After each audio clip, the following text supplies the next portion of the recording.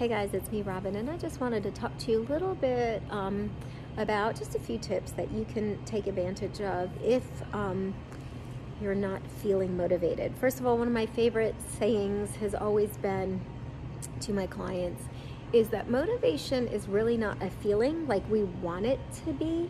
Um, really, motivation is action. And if you can change your thought process that um, I have to feel like doing something to do something, you are going to see that you are going to be more successful about getting up off the couch, getting into your the emails that you've got to clean out. Um, maybe it's the closet, whatever, right? Because here's the thing: most of us don't feel like doing the things that we need to do, right? I never, never feel like doing laundry but I do really enjoy clean underwear.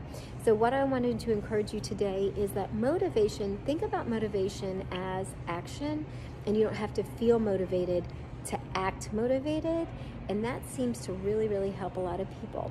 So again, think about motivation is an action, it's not a feeling and when you're not feeling it go, okay, acknowledge what is. I don't feel like doing um, laundry right now, for example, but I truly enjoy clean clothes. Therefore, in three, two, one, I'm going to get up and I'm going to start the process. I'm going to get those clothes into the laundry and I'm going to handle it and take care of it.